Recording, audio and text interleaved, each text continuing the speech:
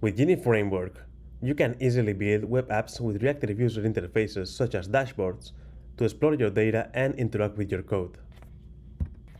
Let's see how to implement a simple reactive web app that counts the vowels in an input sentence.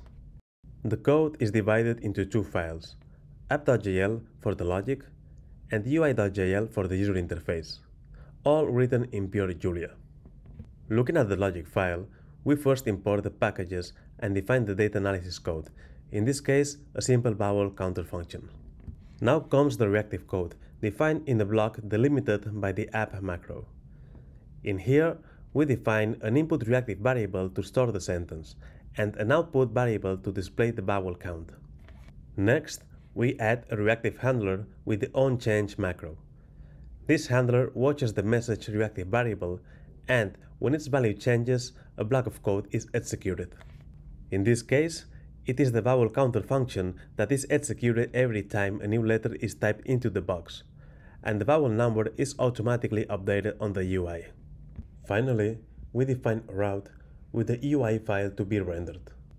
Next, in the UI, we add components with function calls such as text field and p for paragraphs. To bind the text field to the message reactive variable, we use its symbol name.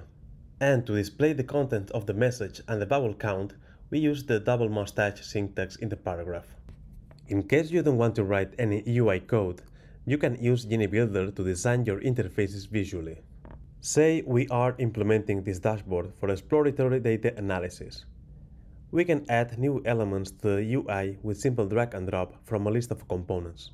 Then enabling a component is as simple as binding it to a reactive variable via the integrated bindings field.